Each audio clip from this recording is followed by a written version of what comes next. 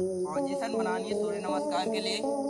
चलिए बनाते हैं पोजीशन पहले हमें सावधान की मुद्रा में रहना है। थोड़ी